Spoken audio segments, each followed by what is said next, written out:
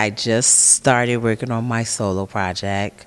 Um, I'm I'm almost positive it's going to be called Seven Winters and Six Summers, and um, I, I'm just having a lot of fun with it. It's it's it's amazing already. It's Seven Winters and Six Summers. It's how long I was gone. Like I would literally sit in my cell sometimes and I would judge how long it was so I get home based on what the trees like if the trees were, you know, bare and it was just branches, I'd be like, okay, I just got to see this happen to the trees three more times and I could go home. Or if it was summertime and the trees had a whole bunch of leaves, I'd be like, yes, two more summers and I'm out of here. So I would like judge it by the winters and the summers, and I was gone for seven winters and six summers. You know what's interesting about that? I actually remember that when I would visit her on the visiting floor.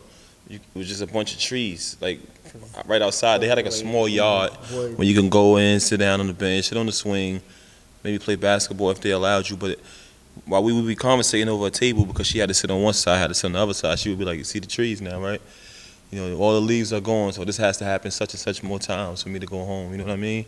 It's crazy hearing her say that because I actually remember that like, vividly. To me, I don't know. It just seemed like it made it go by faster when I thought of it in the terms of the, the leaves coming off and on the tree. It might mm. sound crazy to you, but just thinking about it in the amount of years, I couldn't fathom thinking of it like that. It Right. just seemed so long. So I'm like, if I thought about it in seasons instead, like, because everyone waits for summer anyway. And then a lot of times in New York, a lot of people love the winter time and they're waiting for the snow and you get to bring out your coats and stuff. So I just looked at it like that. And that's, that's the story of my life right now. Like that, that was a big part of my life, and I want to express that on my next project. I don't think I've ever, you know, in depth sat down and talked about actually what I went through emotionally and physically, and some of the records that I want to put on there. I'm incorporating things that I wrote while I was away, so I can, you know.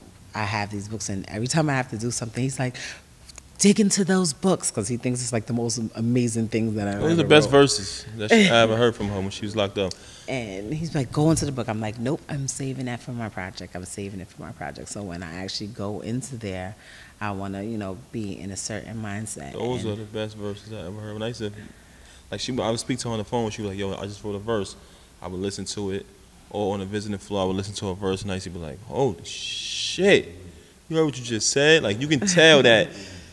You can tell when you hear those verses. You can tell that the person who wrote them took their time. They took their time with each line. Just how hip hop was back in the days. When you heard it, you knew that it was well prepared. They cooked it in the oven, you know. They let it cook slow. It tastes different that way. And those verses, I can hear it. Nowadays, you can tell people rushing. You can hear it.